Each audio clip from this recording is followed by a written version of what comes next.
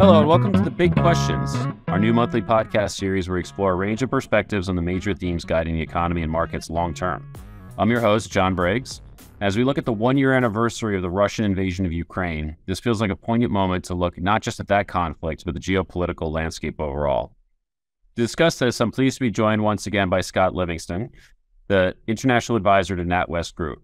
Scott recently retired from the Foreign Commonwealth and Development Office after 24 years of service. Prior to that, he spent a dozen years as a Royal Marine officer, and his service was shaped by global security issues, especially 9 11, including terrorism, cyber, and hostile state actors.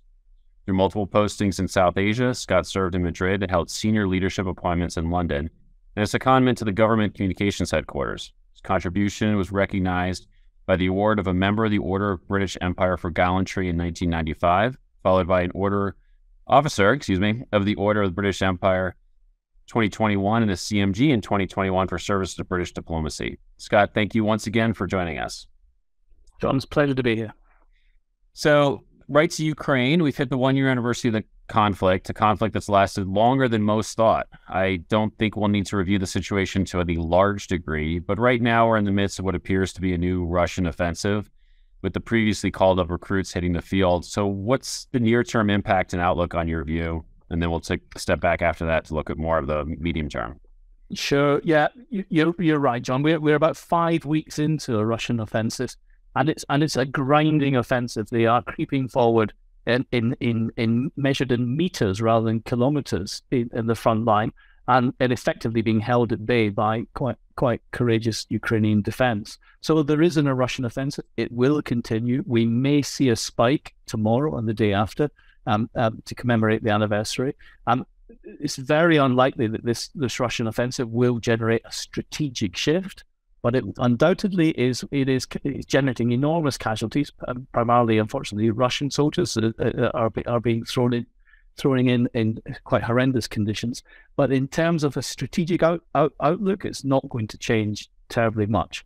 Um, waiting in the in the background, there is anticipation of a Ukrainian counteroffensive, um, and the timing of that will will depend on two things: either either a uh, either an opportunity presents itself on the battlefield. The Ukrainians have, have proven to be very adaptable and very agile on the battlefield, or more likely the arrival of upgraded weapons uh, that we've seen promised in the past months from from the West, from the US, from UK, and from, from NATO allies, um, and in particular long range missiles. So I think the idea that for Ukrainian counteroffensive is is something that will that we will see in the coming months, and and that could well be the breakthrough. Um, or many people will hope it would be the breakthrough that would that would lead to some form of um, rebalance on the battlefield. All right, so I want to touch on that shipment of weapons and or the increasing uh, support that we're seeing in military hardware. I mean, when we look at think about kind of the day to day in markets and, and companies, you know, it's the the conflict's a little bit moved to the background, but it seems to me that it continues to escalate. You know, U.S. and West provides funding and equipment, artillery and ammunition. Biden just had a surprise visit. Russia calls up and deploys more troops. You know, now the the West is sending tanks. The UK is talking about planes where does this stop? How long can the U.S. continue supporting Zelensky? And is saying like this is just going to go on as long as it takes is that realistic? So there is a real tension between the rhetoric of, of, of as long as it takes, which is one of Biden's most powerful messages this week in, in Warsaw and in Kiev. Now, the, the tension there is with the debate back home, which is about not getting involved in forever wars so without a doubt, Biden, it sounds brilliant in, in Eastern Europe for Biden to turn up and, and do what he's done this week. But back home, he's got a problem. He's got a problem in the political front, and and he and the West have got a problem in the industrial front in actually ramping up the production lines. Now that second one can happen, but it will take time. The first one, the political challenge he has, I think, is shaped by the upcoming US election. And my deduction from that is that that that that from from from uh, uh, Joe Biden's point of view, he needs he needs some some form of success on the battlefield or some momentum towards success before this autumn, before we really start to get into the 2024 US election campaign and, and the primaries. So I think you're right. There is an issue here in sustainability, but I think the West, um, given enough investment, can dial up the industrial base and and if the timeline works out, then Biden can survive the political pressure. Okay. And as all this keeps going, how real is the risk of NATO involvement, either on purpose or by an accident from one side or the other? So, so, so I, I still believe, and I, this people who listen to the last one, I will say that I'm, I'm being consistent here. I still think that all parties are um, actively managing this campaign to keep it contained, both geographically and in terms of weapon escalation. Um, I, I, think I think I'll draw an example of the, this this story that the, the, the, the, the Americans warned Moscow that Biden would be in Kiev. That sounds realistic to me.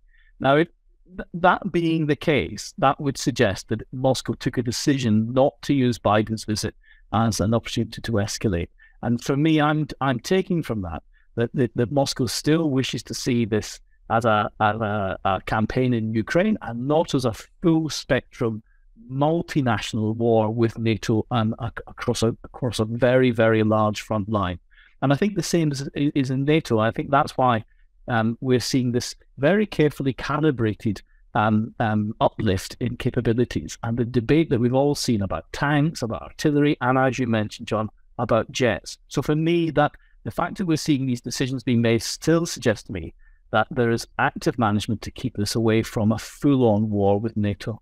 And so therefore the, the risk remains accidental escalation um, um, uh, you know, missiles landing in, in Poland or elsewhere, or some form of um, um, destabilization, for example, in Moldova. We've seen stories this week that that could be that could be a point, and that would need careful handling. And I think we, we need to we need to be tracking that in the coming weeks.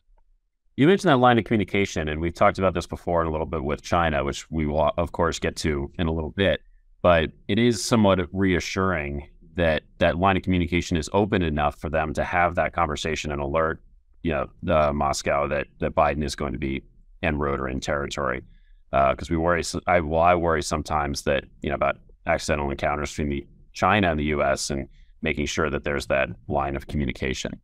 Um, so, but when you think about the Putin side, the Moscow side, I mean, he's he's and maybe this is just a Western perspective from my point of view, but he's strengthened NATO. Western defense budgets are on the rise. I would say the reputation of the Russian army is probably taking a hit.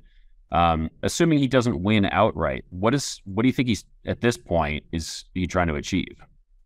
So, uh, well, well, you're right, and that's why I struggle to see a scenario where Russia emerges from this campaign in a stronger position. I think I would add to your list, and I know we'll come on to China, but I would add to your list that that, that undoubtedly he's positioned Russia now as a subordinate to China in, in that relationship, and that's a that's a massive shift from from a Moscow point of view. Um, in terms of what what could what is he hoping to achieve, then there's a there's a really bleak pers- um, um, interpretation or answer to that question, John, which is to effectively keep Ukraine in a in a state of ungovernable. You know, it's an ungovernable state. It's a non-functioning state. So it's it's a it's a colossal sort of um, um campaign of attrition against against Ukraine as a functioning state now that would be a desperate state of affairs, and it would it would mean that the war effectively continues for a very long time. But I think that could be the fallback position. He's realized, I think, that the conquering Ukraine is just not within his scope. So therefore, the next best thing, recapture or hold on to the territories uh, in the east and hopefully in the south if he can, but effectively to keep Ukraine as this ungoverned state and well away from um, European integration. I would I would suspect that's what he's aiming for. Yeah, and that makes sense. I mean, part of the original goal was to keep Ukraine from moving, continue to shift to the west. You know, if you have it in a constant state of conflict, then it can't really do either one. Um, obviously, not an ideal situation. I have this thought in the back of my head where, again, in some ways, the conflict it, it's always present, but it's a little bit more in the background as far as you know day to day risk scenarios for. But is that just because we've gotten lucky and had a mild winter in Europe? Whereas if if it was cold and gas prices were high and energy prices were high, you know, there might be, I don't know if that means more escalation of the conflict or more support or it would be more prominent. I mean, uh, if we have a, you know, in other words, I know that there's been shifts in energy consumption in Europe and, and now natural gas terminals built in Germany and contracts with Algeria and, and the Middle East and stuff. But is, you know, if if we head into next year and and we just have a brutal winter, is this just a different situation, or was that a related? You think? No, I, I listen. I think it's it's all of the above. I'm glad you mentioned all of those other mitigants that were put in place. You know, the Germans, the Germans, astounding piece of work for the Germans to put in an LNG terminal uh, in uh, very short order. The, the, the, the bending of some some contracts in the Middle East to support Europe. My my my sense is that Europe's in a good place when it comes to the energy campaign. I think this. So I buy into the story recently published that effectively Moscow lost the energy war.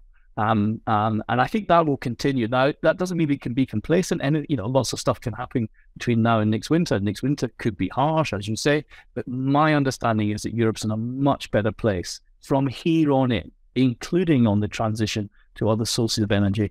That that that that that that that, that leverage from Moscow is much diminished. Um, so I, I am feeling reasonably confident of that. But in terms of why why doesn't it feel like a war in Western Europe? Then there's a there's a whole other conversation about how our media works. I think, John, and and we mustn't forget that the bottom line is it's a Ukrainian soldiers and Ukrainian civilians who are suffering. Um, it feels very different in Western Europe. My understanding is if you're sitting in Poland or if you're sitting in the in, in, in the Baltics, then there's a different perception as to the threat from from from from Russia. Um, uh, um, but here, sitting in, in UK or, or Western Europe, then you're right. It can feel it can feel somewhat at a, at a distance, and I think that will persist. Um, and it could that could make it difficult for policymakers to maintain the, the, the broad support, particularly if economic conditions continue to, to, to, to face hardships in terms of cost of living, etc., in the West. Yeah, so I was thinking too with all, all these elections coming up in the in the coming years, but we'll come come back to that as well. Okay, so I do want to transition to China, but still regarding related to Ukraine is where I'll start there. But you know, you mentioned this before. Russia's becoming a little more, I don't know if subservient is the right word, but maybe it is. Um, economic ties are certainly increasing. China now accounts for 20% of Russian exports and 40% of imports, the latter, which is double pre-war. So increasingly intertwined. And and again, I don't comments on the media aside, but there's been more and more articles and reports that China's providing support to Russia and their war machine, ships, navigation equipment, warplane parts, other hardware. China's Wang Yi is just now in Moscow. I mean, this can't make Congress happy um, or you know Western governments. Why haven't we seen more pressure on China regarding Russia, or is it there and we just aren't seeing it as much? So I think it's there. I'm I'm going to go out on a limb here, John. I'm going to I'm going to sort of challenge some of the some of the rhetoric we've seen and some of the media um, spin that we've seen in the last week. I, think what we're actually seeing is pressure from the US in particular. I think US intelligence probably picked up some time ago that there was low level um, um, contributions coming from Chinese firms into the Russia uh, the Russia sort of military capability. And I think this is another example of the West using intelligence in a fairly upfront way to to to to put a put a red line down just in time, just in time for Wang Yi to be in Moscow and probably before Xi visits Moscow, which is which is looking likely of Xi visiting Moscow sometime in April. Um, so this this line has been put down by the Americans, I think, quite a skillful way. And we mustn't forget, and we might come on to this as well, that the the um, Antony Blinken visit to Beijing is still on the cards. I mm. don't believe that that's completely off the cards. So I think what we are seeing is pressure from America to Beijing on onto Beijing, saying enough's enough and and no further. I, I, I think I'd add to that by saying I'm not sure that this is in Xi's interest, President Xi's interest, to really hitch himself to to Putin's campaign in Ukraine at this time. Um, it, it's he he certainly can't see it as a as a successful campaign, and all he would be doing would be inviting Western sanctions, which at this time in the Chinese economy simply doesn't make sense. So I'm I'm I'm I'm doubtful that we're on the edge of seeing China launching itself into this war as a major a major ally of, of, of Russia. Okay, so I'm glad you brought that second part in because I was thinking also about something where if Russia is increasingly isolated, their dependence on China could only rise. And what happens in, say, a year from now, where China is essentially the, as um, somebody else put it, I like the phrase, but uh, the bank and quartermaster to Russia? I mean, that seems very problematic, but I could see us going that way if this drags on and, you know, we're adding more sanctions on Russia this this week to, to commemorate the anniversary. I mean, what happens in that scenario? No, you're right. And this, this, so this, this risk, this is a dynamic risk, and this could grow uh, over, over look, certainly over the medium and long term. This could be, this is an issue, which is why, why we've got to be taking a holistic view here of how, how you know, particularly the U.S. engages with China as well as engages, and how, how the war is, is, is, is continuing in Ukraine. The two issues cannot be delinked. But right now, I'm not seeing it's optimal time for Xi to launch. In a year's time, let's have the conversation again, John. I mean, and, and again, the horrific yeah. scenario there, the horrific scenario here, as we go through the rest of this decade, is how does this how does this um, war in Europe um, in any way sort of become affected by uh, increasing tension, tensions in the South China Sea or around Taiwan? Now there's a there's a dread scenario there that we have both tensions around Taiwan and ongoing tensions in Ukraine at the same time. And I'm pretty sure the policymakers in DC and in NATO will have that dread scenario somewhere on their grid and will be and will be tracking the, the indicators and the and the mitigants and to, to, to try and prevent that from happening. All right. So one question before I go right to Taiwan. Balloon issue. You mentioned Blinken's trip. Obviously that was I mean, is this just, you know, fascination by US media and it's already out of the news cycle or and a symptom of or is it like a is this actually a big deal? Um, yeah, it, well, it is a big deal, and it isn't a big deal. I think. I mean, I think I'm I'm going to veer on the edge that it was a, it was some kind of surveillance equipment. I'm not an expert in balloon technology, but um, I, I'm I'm going to assume it's not a weather reading thing. Um, but I'm also going to sort of uh, veer on the on the theory that this was this was there's a randomness about this than than a deliberate sort of high end sort of covert ploy. Um, so I, I, I'm sort of, I'm sort of saying yes, it probably was espionage. Does it, does it change the sense of, of, of, of um, uh, in DC about, about the Chinese surveillance of, of America? Uh, not really. There's, I think there's a great awareness of America, of Chinese capabilities in, in terms of satellites, and there's, and frankly, there's a great awareness of other elements of Chinese espionage. I think, I think the FBI um, uh, this public source um, information that the FBI launch a new investigation into suspected Chinese espionage every every two weeks, I think, in America. at least. So I, I, I, I, so I, I, I think it, it, it, in itself, it doesn't really change the, the sort of um, the, the, the sense of threat or or, or, or, or intrusion from China. However, in terms of a tactical piece, I think it was a gift to Blinken um, in terms of in terms of uh, a reason to defer this meeting, and I think it is a deferral, not a cancellation, um, because I think Blinken would have been a bit exposed had he gone to Beijing before the anniversary of this war. Blinken had gone to Beijing, and then Wang Yi had gone to Moscow and made a uh, made a, a, a, grand statement in support of, of Putin. Blinken could have been exposed. So I think actually this has been carefully handled, and I think we will see Blinken in Beijing. I think we will see, as you say, that important channel sustained, and I do believe that we will continue to see um, the U.S. administration trying to put us trying to put a sort of floor on the relationship with with Beijing, uh, because right now it doesn't suit America to have tensions in the South China Sea. No, it doesn't really suit anybody. I mean, I continue to worry that that last year 2022 was kind of the surprises came out of the west whether you're looking at inflation or the war or you know anything. And i worry that this year the surprises are going to come out of the east in some way. Um, and the last time we spoke in november and correct me if i'm wrong you had felt that taiwan wouldn't necessarily be a flashpoint this year but it, neither was it on a 10 year horizon.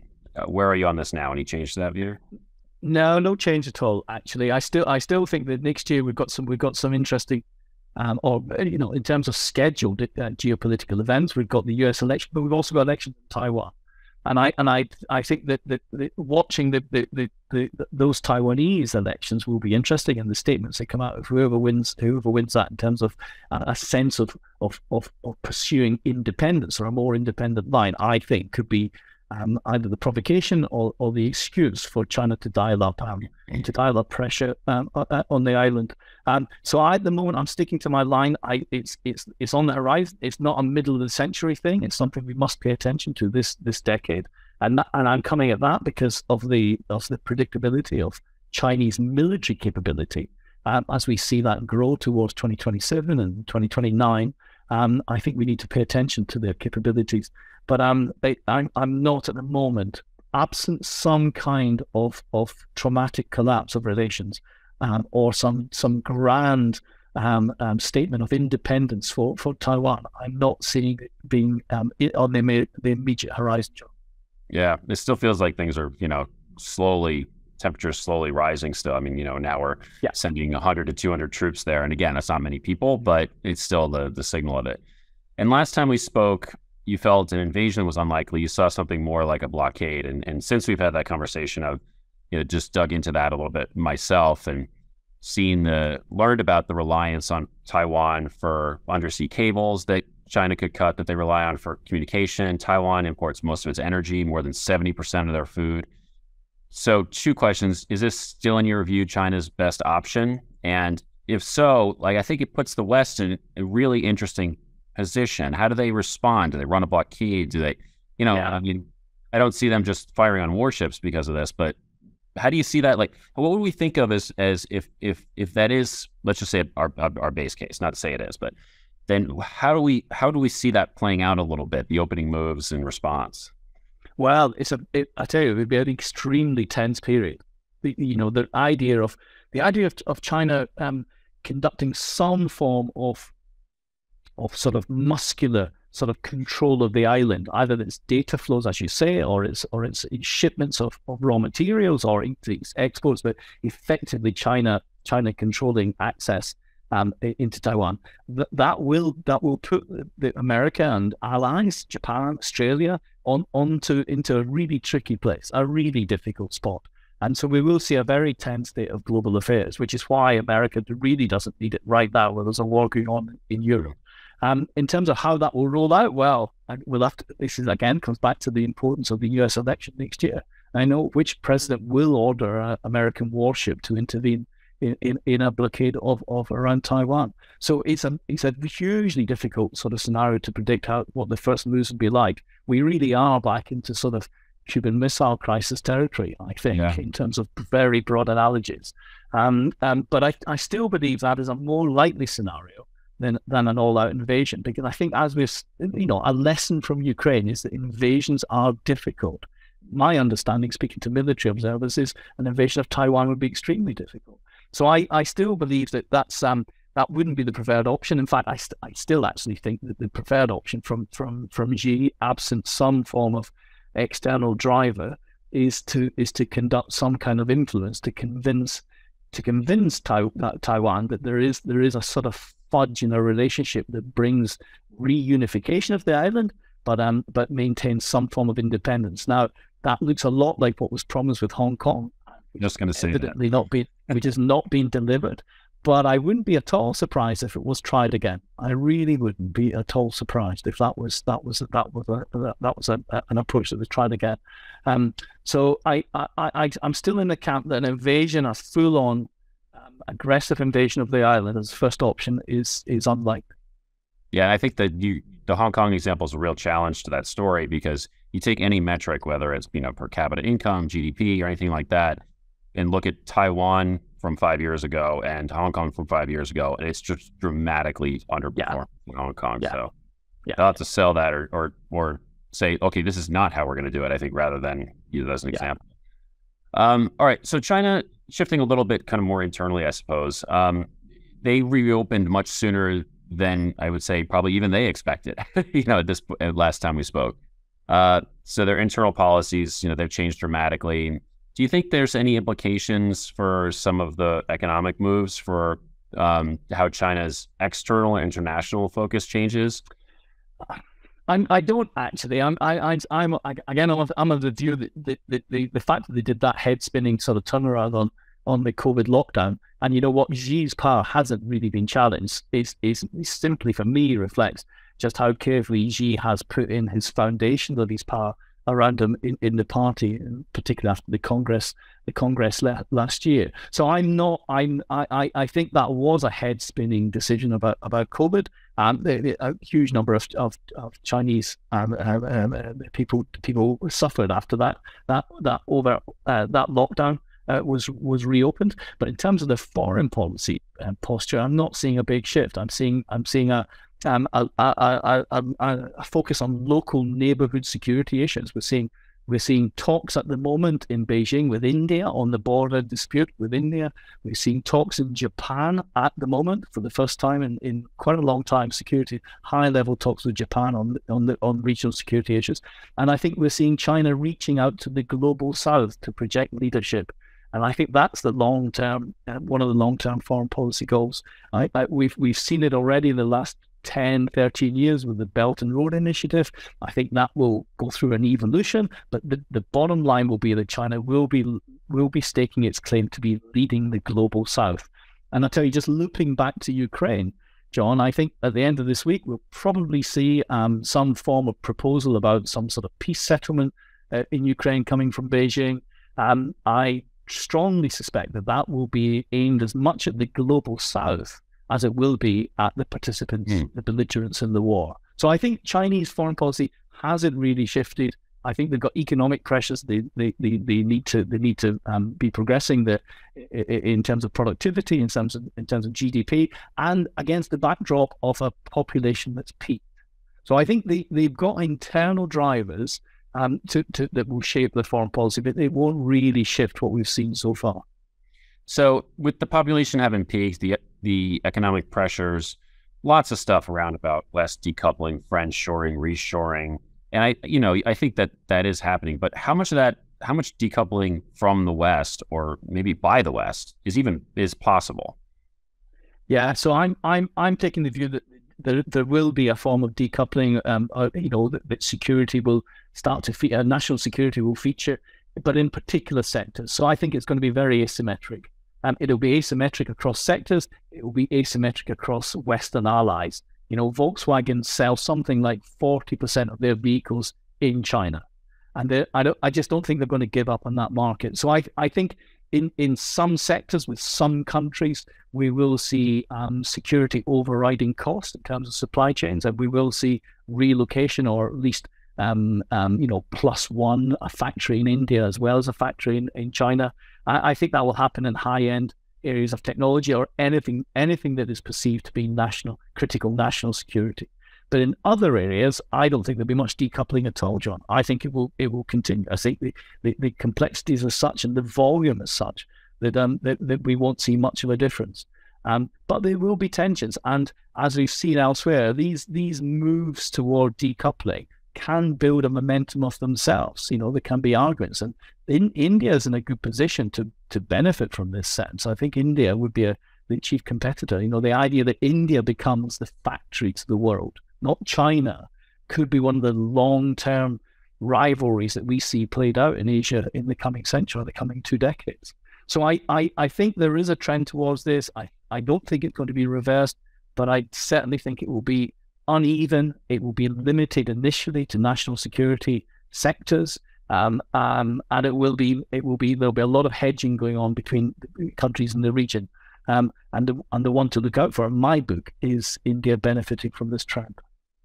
I think we also need to be a little cognizant of oversimplifying some of this stuff. Like there's been a bunch of reports and even just some of the data shows that, for example, Mexico is gaining share for input into the U.S. market from China.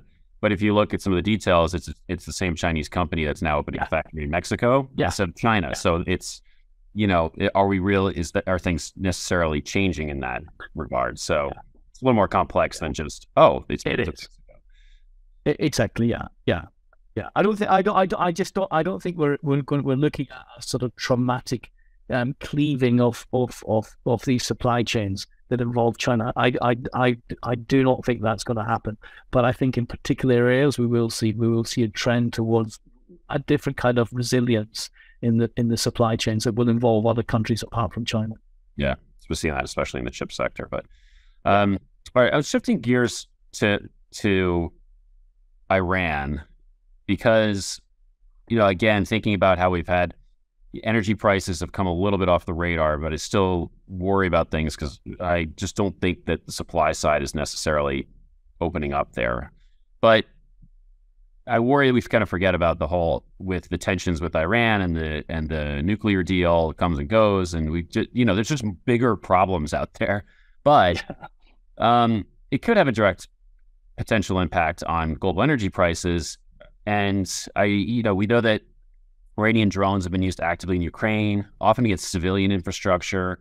Why haven't we seen more pressure against Iran, or, is there really are we at a stage where the West there's nothing really we can do at this point? Yeah, I think I think it's the I think it's the latter. I think I think we're running out of levers really with Iran, and it's really interesting that it is off the it's it's, it's fallen off the radar in many spaces. It's certainly on my radar. I think Iran and the, the nuclear deal in particular is is well and truly on my on my radar. I think it's I think it's if it's hanging by a thread, it's a very thin thread, that nuclear deal, partly because there is no political space. The, the, the drone sales to Russia, the, the, the, the oppressive um, reaction to demonstrations, I think, has removed political space in the West to give concessions. Um, um, and so I, I, and then we've had the breaking news in the last 10 days or so that, that um, international uh, uh inspectors have discovered very highly um, um, sort of enriched uranium in Iran. Now, that was a surprise. That was hitting up at 84% enriched.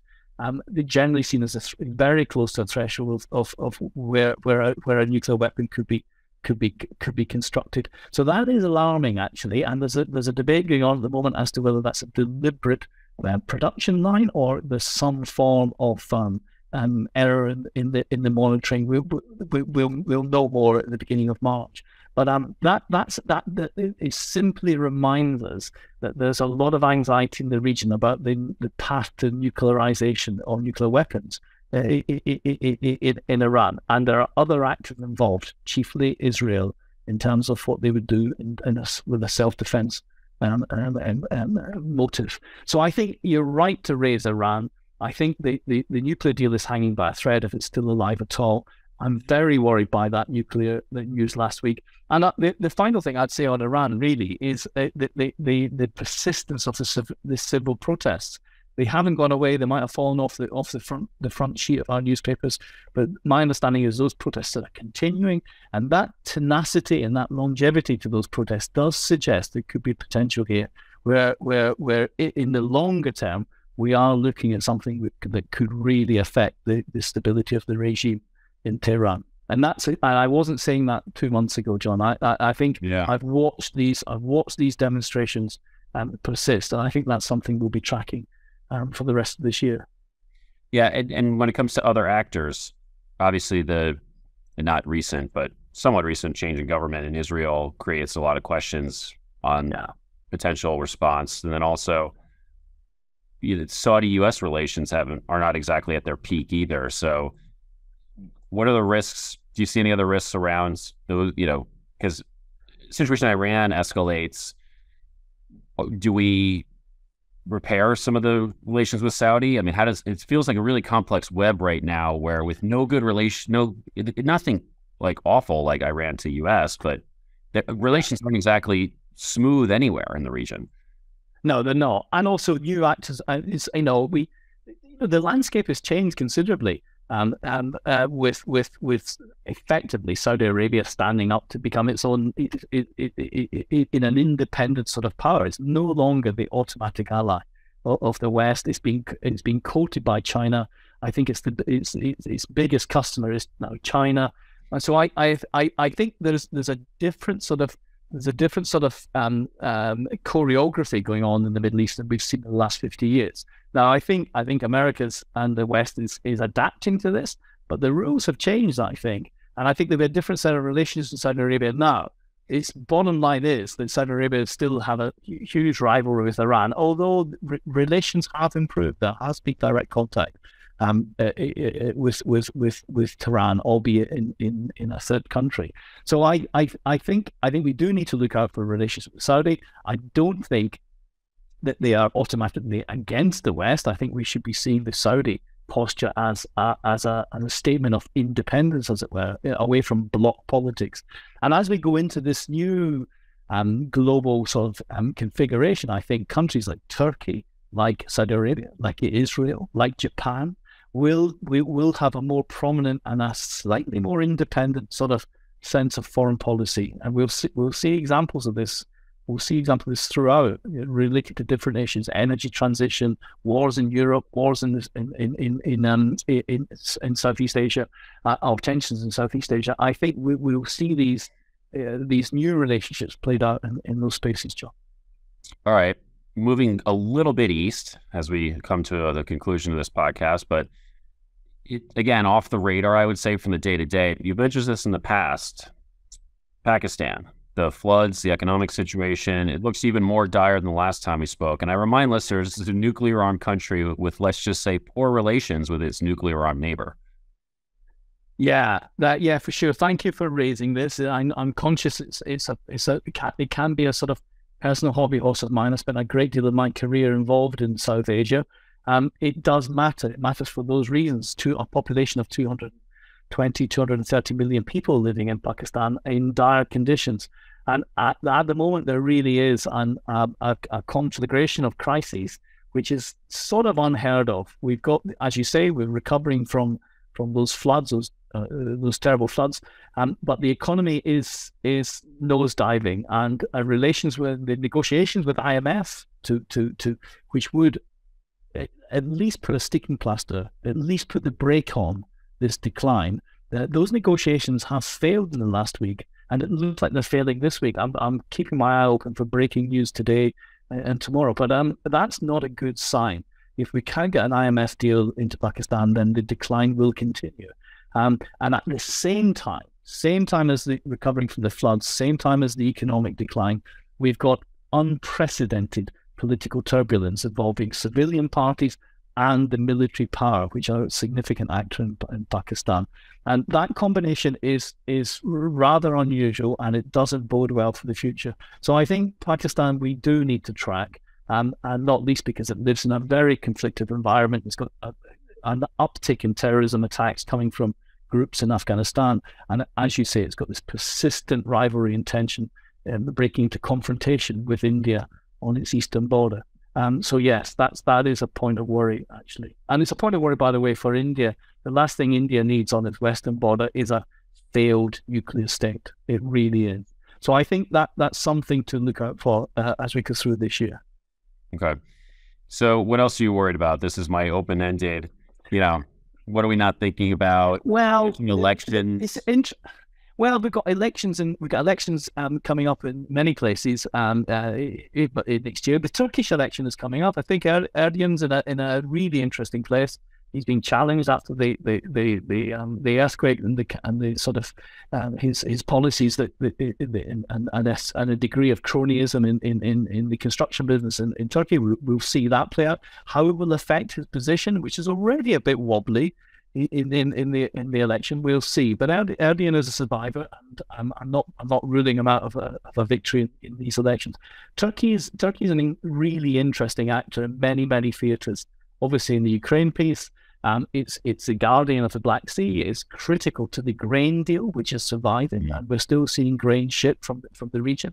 But it's also very active in Central Asia and in North Africa and the Middle East as well. So Turkey is an a, a, is an interesting um, uh, actor uh, act to be tracking, and also it, uh, we mustn't forget that it holds the key at the moment to the expansion of NATO. As you recall, Finland and Sweden are, are queuing up, ready to get in, and we're waiting for Hungary and Turkey to, to ratify that deal.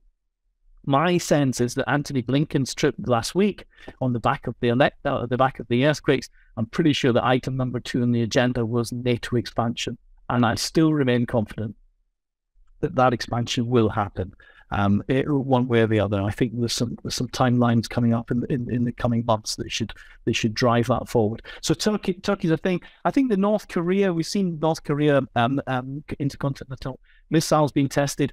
I still have a sense there that that North Korean tension is being managed, and we're, we're, Japan is stepping up. Japan has doubled its defense budget, and I think we're we're seeing a much tighter use of of, of alliances in the region, with again America in a leading role. But my sense is the threat from North Korea, uh, we, we, we may be moving towards a much more classical deterrence model with much much tighter alliances standing up to to to to try and dampen down any aggression from from North Korea.